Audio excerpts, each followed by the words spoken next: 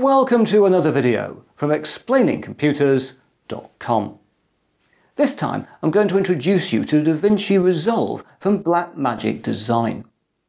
This is a very high-end video editing and colour correction package that you can download and use absolutely for free. No, you cry, that can't be true. You can't get a high-end video editor for absolutely nothing. Well, as you shall see, you absolutely can.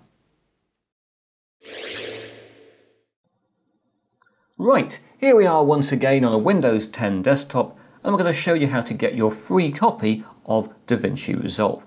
So we'll go to um, Chrome, go to a browser, and we've gone to the website blackmagicdesign.com, which is a, a really cool website. If you just scroll down their homepage, you know, they're, they're working on really big things. Like they were working on Ant-Man, all sorts of stuff. Very, very exciting. Anyway, uh, we need to go to products, you may have guessed that, and we need to pick out DaVinci uh, Resolve and Fusion software. They make all sorts of exciting hardware, but we want the software stuff. And you'll see it says DaVinci Resolve 12 from $995. And immediately you go, ah, oh, Chris, you told us it was free. Uh, but however, if you click on Learn More, it will take you to the DaVinci Resolve page. And we can go down here, see all the things it can do. This is really high-end stuff. And if you scroll to the bottom, you will discover um, three versions, there we are, of DaVinci Resolve. There is the version down here with the control panel, which costs you about $30,000. There is a version called Resolve Studio, which is the $995. But look over here, there is DaVinci Resolve 12, the free DaVinci Resolve, for professional editing, for free for Mac or Windows. And therefore you're probably thinking, well, Chris, it's massively cut down. So I can show you that. If we go to compare, here it is again, look and it tells you what you do and do not get in different versions. And to be honest, what you don't get is certain things to do with noise reduction, collaborative working, and 3D editing. So, for example, you don't get noise reduction in your CUDA um, and OpenGL GPUs, you don't get concurrent stereoscopic 3D grading, probably didn't need that, and you don't get stereoscopic um, 3D convergent adjustments. You go down to look at audio, for example, it's all basically there, but you don't get noise reduction again through your GPU. Um, you haven't got here in um, process speed and accuracy, you haven't got the same stabilizing things, you know, uh, in, again in 3D. So really, you don't lose very much. You do get the full package. So to get this thing, we just need to go to um, download for Windows, unless you're using a Mac, but I'm using a Windows PC. And you get to a screen like this, which because of the resolution I'm recording in, I will just full screen and you have to put a few details in. Now, I would say before I do this, I'm now downloading version 12.2. I previously run version 12, so I'm doing an upgrade for me. I've had absolutely no problems with, with spam or anything else having done this form. So I'll just put some details in here. And uh, there we are, I've got some details on the screen, obviously not showing you all those. Register and download. And there we are, it's going to download and uh, we'll stick it in my C download folder and save that. And it's coming down, it's what about 352 megabytes, so it's a, a reasonable size download, but it's not absolutely enormous.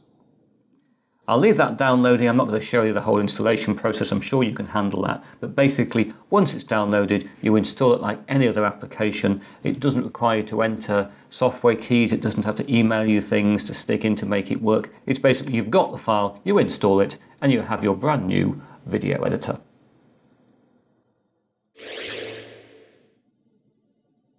Right, let me give you a very quick demonstration of DaVinci Resolve.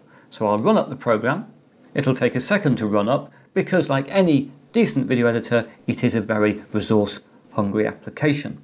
You must be running a 64-bit operating system, you must have at least 8 gigabytes of RAM and at least a gigabyte of graphics RAM of GPU memory.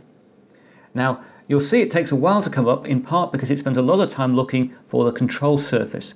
That is the uh, 30,000 quid bit of hardware we haven't purchased. So this seems to be the downside of this. You have to wait each time for this to happen, but at least we've saved ourselves an awful lot of money by getting this for free.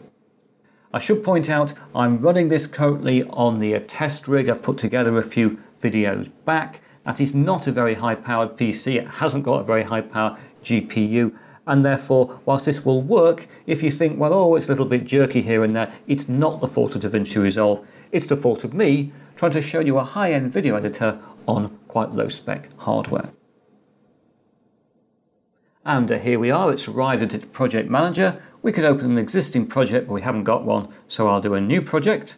I'll call this a EC test, that sounds good enough to me, and create that, and then we open up that project. Now, I should also point out at this point that I'm running currently in a 720p video resolution, 1280 by 720 resolution, so you've got a chance of seeing what's going on on screen. But normally DaVinci Resolve would look more like this, which is running at uh, 1920 1080, which I'm sure is the minimum resolution that Blackmagic Design think could run it at on at least one monitor. But if we come back to our 720p screen, at least you can see the basics of what are going on. Now, DaVinci Resolve basically has four different screens. It has the media screen, we're on here, where you bring your footage in. It has the edit screen where you do your um, editing, I'm sure you guessed that. It has the color correction screen with all sorts of functionality, and it has the final delivery screen where you chuck out your video to a final file. So what I'm going to do is not to show you everything in this package in a few minutes because that's impossible. Very good online manual you can read for all that. But I'll just show you the basics of bringing in some footage, editing it together and chucking it out as a final movie. So we'll go to our D drive. Since I last showed you this PC, I've added an extra disk to store video files. It's good practice to run video editors with a separate video drive. And I'll therefore open up my stock video and say MISC CG and there's four little shots there, all ones come up in the monitor as I've selected it, and we'll drop them down into what's called a media pool for this project. Now it's noticed that the resolution of these clips, which is uh, 720p, is not what it was potentially expecting. It offered to change the resolution of the timeline of the project to match the footage, which is clearly a good idea. And there we have our different shots which have come in to this um, project, and it gives us all the details there, and indeed over there as well.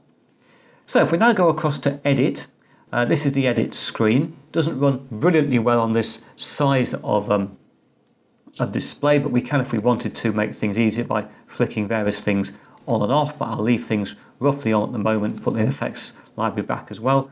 And if you wanted it, there's also lots of audio stuff over here if you wanted to look at all that. Really, if you want things, it's available in this package, but at the moment, I'll save us the space.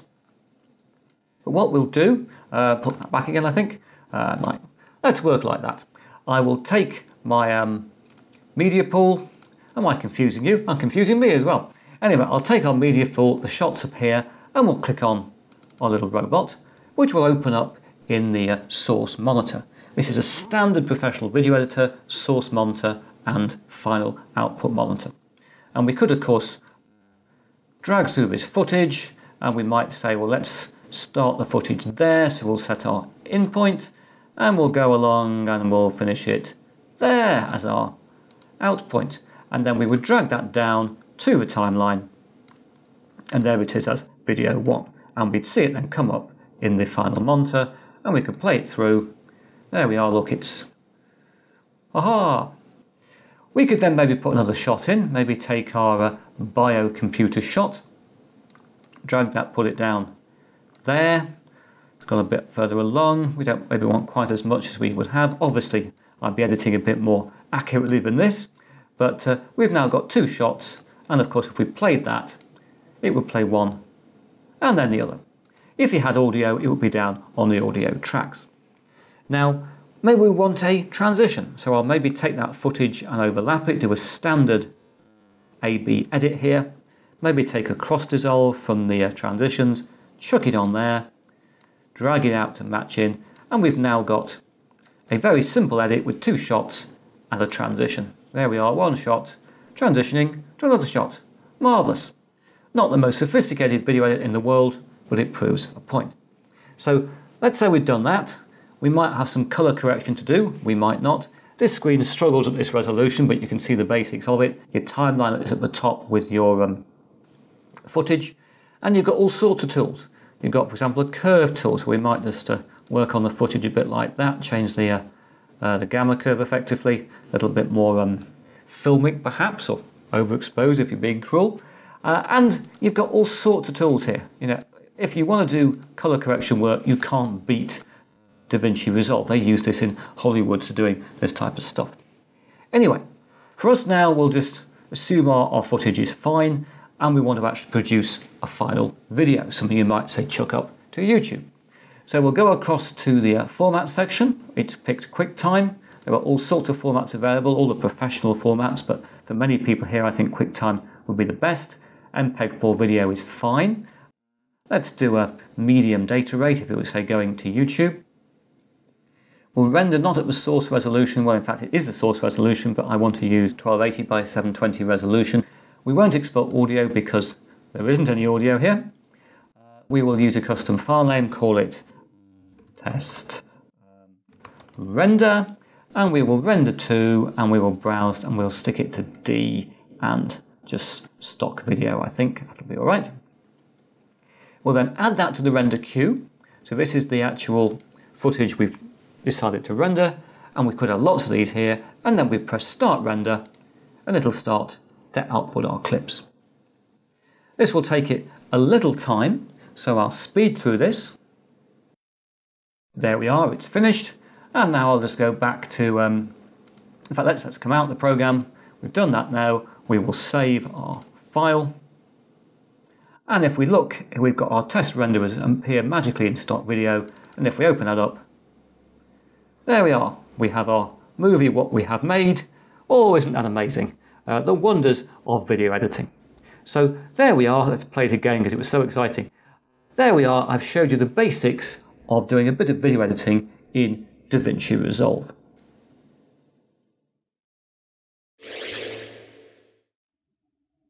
Right, a final thing I almost forgot to tell you about is Resolve's file format compatibility.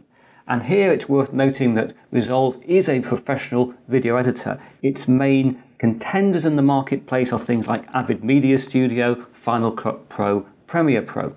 And it works with all the professional file formats, no problems at all. But it does have some problems with some of the more consumer-led file formats. to show you that, I'm going to go to a folder I've created called Format Tests and bring in three different files.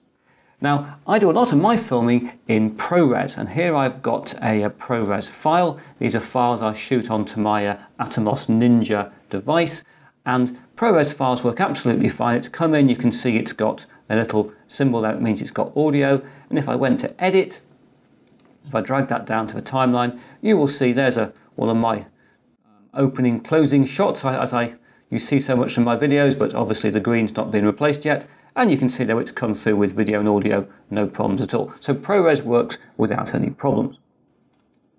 We've also seen that uh, MOV files are encoded in H.264, QuickTime H.264 files. They also work. I was editing with those in the previous segment.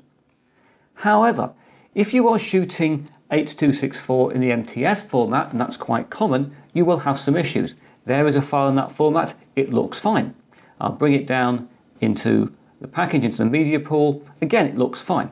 If we go to edit, and I took that put it onto the edit line though, there's no audio.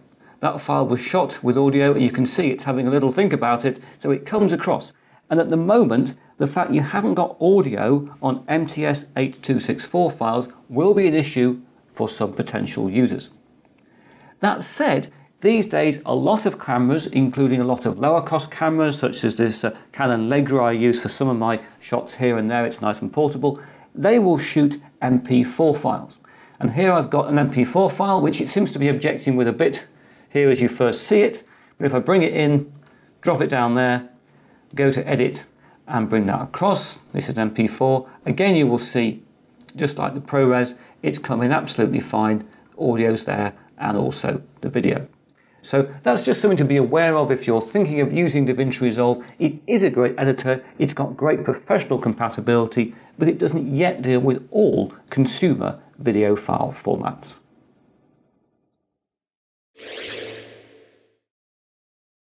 Blackmagic Design developed DaVinci Resolve as a collaborative colour correction tool for use by users such as Hollywood studios. And they make most of their money servicing that market and selling high-end control panels, control hardware for use with DaVinci Resolve on very high-end video editing workstations. That said, they're now also very keen to enter the uh, more mainstream video editing market, and I'm sure with the release of the free version that many of us will start to migrate towards DaVinci Resolve. But now that's it for another video, and I hope to talk to you again very soon.